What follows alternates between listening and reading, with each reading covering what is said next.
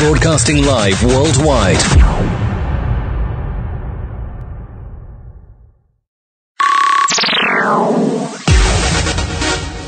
Thank you for tuning in to Talkline Network Radio, America's longest running Jewish broadcast network, the voice of the Jewish community. Check this out.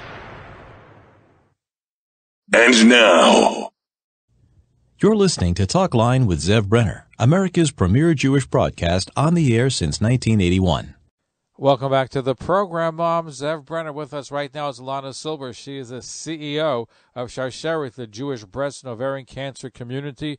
They were formed in November 2001. This is their 20th year of service to the Jewish community. So, Elana, thank you for joining us. Uh, thank you so much for having me. It's really my pleasure to speak with you always and to your listeners. And we have a lot of important information that I want to get out to everyone who's listening on the call today. So, tell our audience because you do amazing and very important work. Not everybody's familiar with the issues relating, and it's not just for women. We'll we'll talk about that as well. But tell us about what Sharsheret has done, what it's doing. Okay, so first, for those of you who are not familiar with the Hebrew word sharsheret, sharsheret is the Hebrew word for chain. And what sharsheret does is we bring people together, we link them together to provide support and information, support that is improves lives and education that saves lives. Um, across the Jewish community as it relates to breast cancer, ovarian cancer, and other cancers that are related to breast and ovarian cancer because of genetic susceptibility. And we're bringing that all together, and that every person that we touch, which are hundreds of thousands today, is a link in the chain, and everyone comes together to support each other. I think what we're going through now, um, the need for people to come together, whether virtually, in person, um, through information or support, it really provides the strength that we're all craving and we all need right now.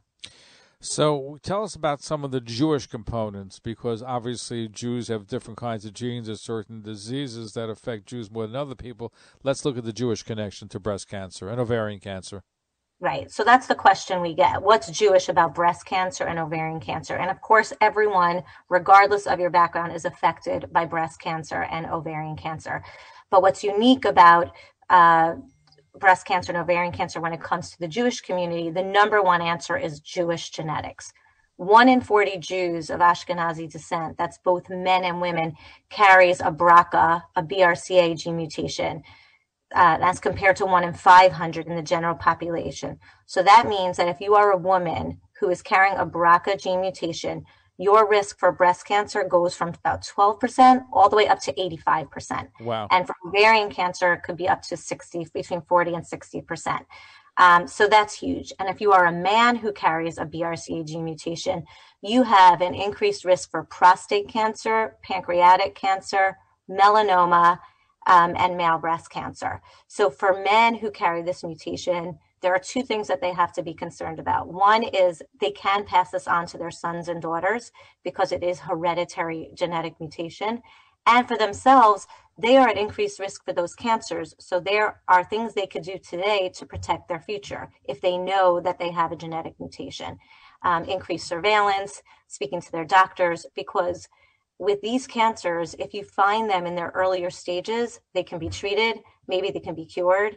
And in some cases, especially when it comes to breast cancer and ovarian cancer, there are measures you can take to prevent the cancers. So we are talking about Jewish continuity as it's in terms of health, women's health and family's health. If we can stop this in its tracks, people will live and we will continue the Jewish people into a healthier future. So that's the number one Jewish reason.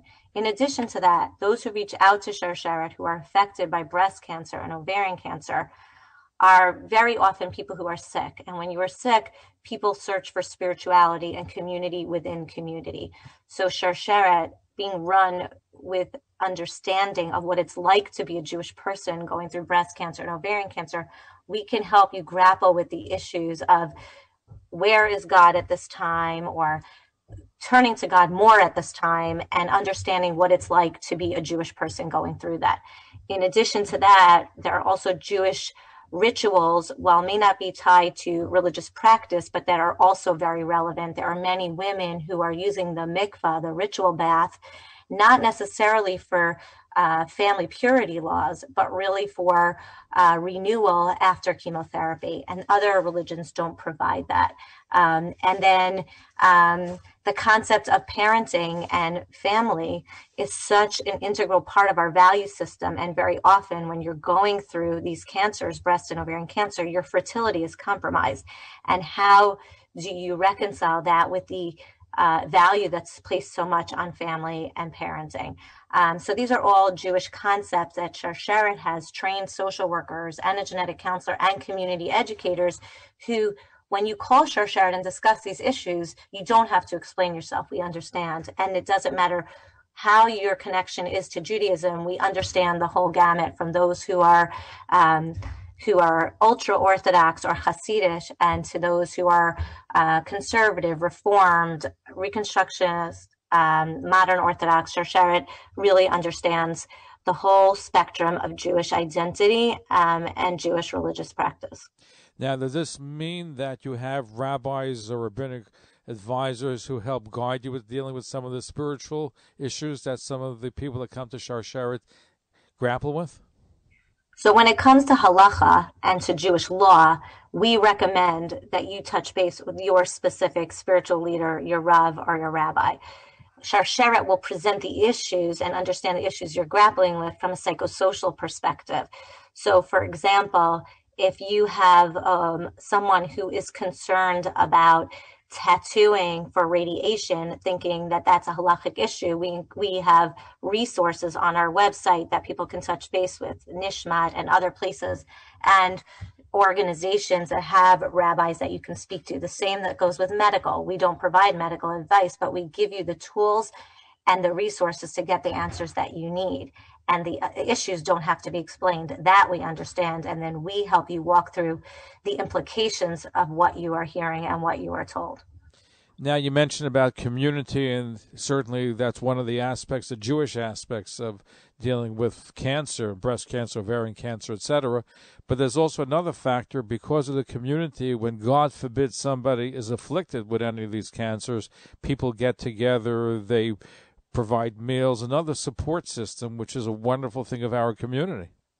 Yeah, I think that the Jewish community is known for that. And locally, I know in the communities, people go all out. There is a period of time when someone is newly diagnosed or finds out that they're carrying a genetic mutation where they want to remain anonymous and they want things to be confidential and they're not just yet ready to go out into the community and share this information for many reasons um, and that's the perfect time to call Sharsheret, whether you or someone you know. Very often we get calls from family members or best friends, not necessarily from the person themselves who's been diagnosed because it's just too hard to make that call.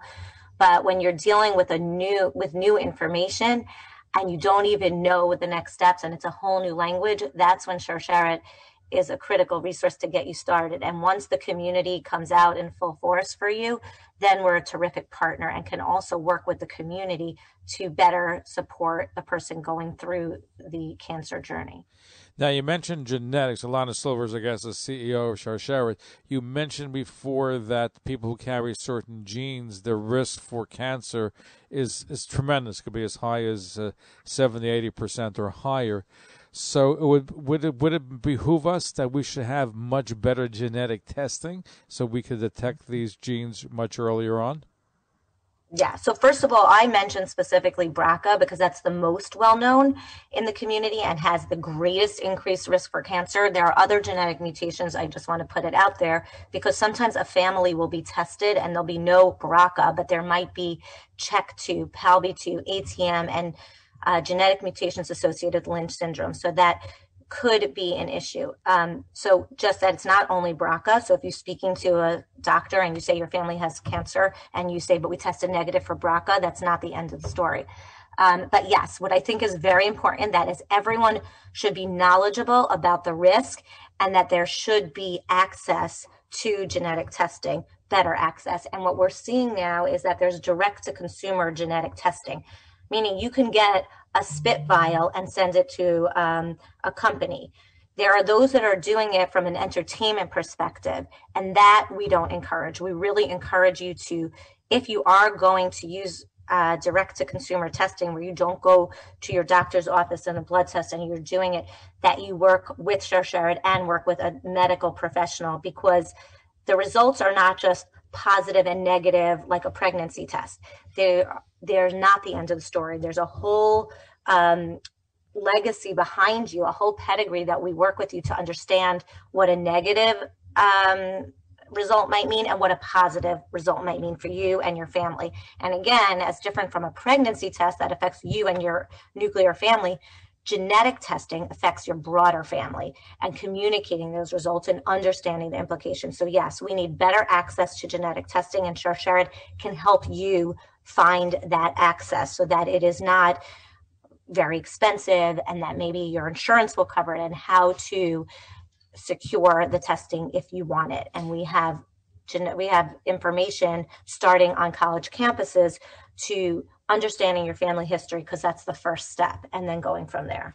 But from what I'm hearing, Elana, is that perhaps we in the Jewish community, and maybe Sharsheret can play a role, is we should be for a whole, not just for breast and ovarian cancer, as you correctly point out, perhaps we should try to encourage people to take genetic testing. It should be more mandatory well, you can't force anybody to do anything, but it's just something which should be part of the conversation that people should early on, and I don't know how often they should take genetic testing to see if something comes up later, but this should be part of a routine of when one gets a medical checkup. This should be part of what we have to educate the public about.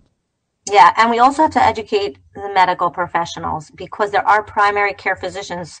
Most people don't go to an oncologist and doesn't don't, and most people who don't mm. suspect cancer won't be in a cancer facility, but primary care physicians do have access to genetic testing if they understand it and if they share it with the with their patients at the right time. So we also want to educate so if there are medical professionals on the line today who have not yet gone into genetic testing for cancer, you can talk to Sharsheret and learn more about how to present it to patients when it's appropriate. Um, and we can talk with them. We do medical professional training um, and we can tell you how to do that and when to do it. So it is important for everyone to understand their risk and understand that it is an urgent concern in the Jewish community. We know that people who know their genetic status, it can save their lives. Certainly so important. Now, how has COVID affected the work that you're doing? So, so it's interesting when COVID hit back in March, um, the world shut down Sharsheret did not shut down. Sharsheret's model for delivery of programs and services has always been virtual. We understand that the women that, and families that we serve are active and busy. These are women who are um, who are working, women who are dating, women who are raising families. And the concept was they didn't have time to go to a support group or to a place to get information. So we've always been providing as technology um, has improved. We've had more opportunities, but email, phone, even through social media, um, online, any way the chat, online chat, any way that women and families can get information. So our services have always been virtual, which set us up perfectly for COVID because um, while our staff had to relocate, we no longer were working in the office and we had to figure that out. The programs themselves didn't stop. Um, and there was a lot of questions and there's a lot of long-term um, ramifications for everything shutting down because people were not able to go for their routine exams and people had to push off treatments. Um, and these are very scary things. So um, Sharsheret's been sending out the message that now that things have reopened, it is safe to go to these medical centers. They are taking the precautions uh, to ensure safety against COVID, and we are encouraging everybody to go to the doctor during at the beginning of COVID, we encouraged telehealth. Like people should trust it, people should do it. Um, and if doctors say it's safe to come in for treatment, don't push off your treatment. So, COVID is going to have a long term effect on cancer. According to the American Cancer Society, there's going to be an increase in people diagnosed at later stages when it's less um, effective, when treatments might be harder to take effect, which means that people could have more serious cancers or um, or people might die more because the diagnoses were pushed off. So we're really encouraging the message I'm getting out to everyone today is if you've pushed off your mammogram or you've pushed off your sonogram or your MRI or whatever your protocol is for testing, or even if you're just going for a regular checkup for a physical exam, you should be keeping your appointments. Do not push them off. It's really important. Totally concur. So here's a $64,000 question. The work that you're doing costs money. Who's funding you? Who's supporting the work of Sharsheret? So Sharsheret has an interesting um, re- uh, revenue streams. We have one government grant from the CDC, which is not so large, um, and most of our funding is coming from individual donors. So normally for an organization, our budget is four and a half million dollars.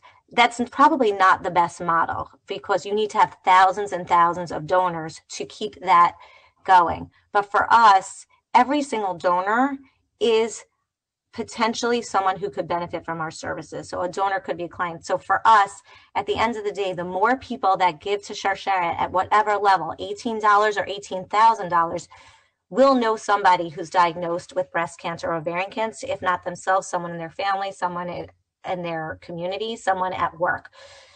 So we really do get a lot of our donations. Most of our donations come from individual donors, and a lot of those come from events. We do fundraising events, and there's always an educational piece in these events because, like I said, this is a cause that's going to affect every single person who comes to any event, who listens to any radio show, who goes to any synagogue.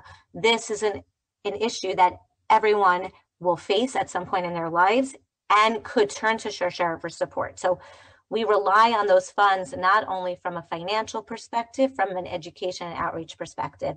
And events have have now morphed into virtual events. We do about 500 events a year, starting on college campuses and in communities. And in the last year, we did about 450 since COVID hit. And but they're all virtual. Uh, you know, obviously until it's safe to do so. It's still safe to meet together in person. We'll be providing them virtually and that's how people are donating. That's how people are finding out about the information. And that's why people are calling for support and information. Elana Silber, the CEO of Sharsheret, which is the Jewish breast and ovarian cancer community, been in that position for high years, 18 years to life, many more years to come. If people want to learn more, they want to donate or find out what Sharsheret is all about, how can people do so? Uh, well, our website is the first place, sharsheret.org. We are also on Facebook. We are on Instagram, Sharsheret One. We have our toll free number is 866 474 2774. I think it's GoSharsh, It might be for that.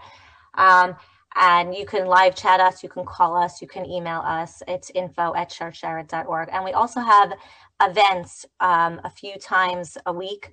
For example, we have a big fundraiser next Sunday night that has a lot. This is the first time we're having an all male committee with a male chair. It's a wine tasting event um, and a live auction of sports memorabilia next Sunday night, February 28th. It'll be um, a wine tasting featuring uh, Managing Director of Morgan Stanley, Bennett Schachter. We'll be speaking with Jeff Morgan from Covenant Winery. They'll also be giving everyone on the call a discount for their Pesach wine orders. Um, and it'll be an opportunity to hear from men in the community that have benefited from Sharsheret. Um, and it's a virtual event, and it will be taking place next Sunday night. Um, I think I think it might even be closed out at this point, but we have events throughout the year that we definitely encourage people to join, um, and that could also be found on our website for a list of upcoming events from panel discussions to book clubs to um, video shows and things like that, um, sharsheret.org and check out upcoming events. Elana, doing terrific work. Thank you for sharing that with our audience. Look forward to having you back again. And much continued success. And thank you, and thank you for the good work you're doing. I know that COVID also has affected your industry, and lots of people are listening and relying on you for uh, important mm-hmm. information, contact, content and um, maybe even entertainment. So, um, really appreciate that you have expanded and included Sharsheret in this really important medium during this really challenging time. And you pointed out something before that's so important. I saw research that I think as high as 80% of people have not gone to doctors during COVID. And that's, as you said, if one does not go to the doctor, it, they risk all kinds of illnesses, including the treating cancer in an early stage. So it's so important. If there's one message that we get through on this broadcast, is go to the doctor. Don't yeah. put it off. And also feel free to use Sharsheret. We are confidential. We are free. We are accessible. No questions too small. No questions too big. Contact us. We are eager and waiting for people to contact us. Let's give out the phone number too for the office. 866 474 2774. Thank you. We're going to be right back. Don't go away. Stay tuned. Follow us on Facebook, Twitter, and Instagram.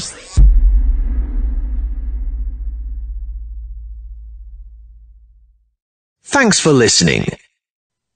Talkline radio and TV with Zev Brenner is just phenomenal. Everybody concerned about the Jewish community should listen and watch. He has the best guests. He asks the most interesting questions. He's always so well prepared. It's talk radio and television from a Jewish point of view at its very best. To advertise on the Talkline network and Talkline's email and social media blasts reaching over 70,000 people, please call 212 769 1925 extension 100. That's 212 769 1925 extension 100. Or email info at talklinenetwork.com. Talkline Network Radio.